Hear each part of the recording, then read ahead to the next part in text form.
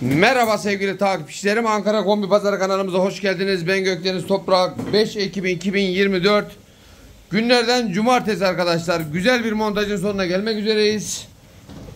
Keçiören Pursaklar arkadaşlar. Pursaklar Yunus Emre mahallesindeyiz. Darbeli kompresörlü makinamızla de petek temizliği yapıyoruz. Kombimiz Baymak Doğatek birazdan montajımızda çekeceğiz. Eğer ki sıfır kombi taktırıyorsanız arkadaşlar kesinlikle ve kesinlikle darbeli kompresörlü makine ile makine ile petek temizliği yaptırmalısınız.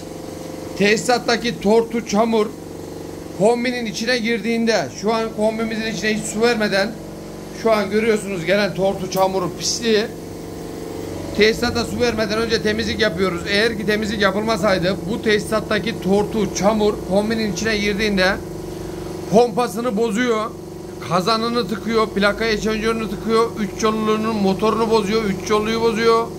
Otomatik hava pürjörünü, çamur geliyor, su gelmiyor, o bozuluyor. içinden su kaçırıyor.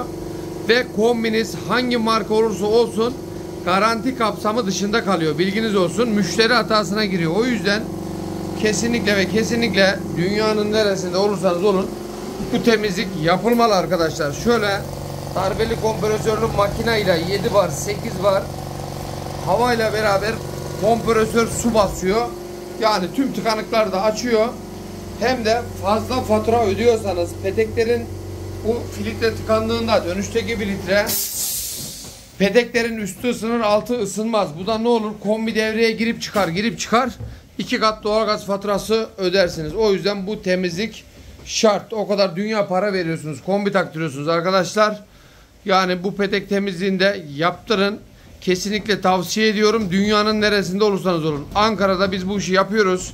Kombi, tesisat, proje işlerinde, petek temizleme işlerinde kesinlikle bizden teklif ve fiyat almadan karar vermeyin. Birazdan montajımızın videosunda görüşmek üzere. Her şey gönlünüzce olsun diyoruz.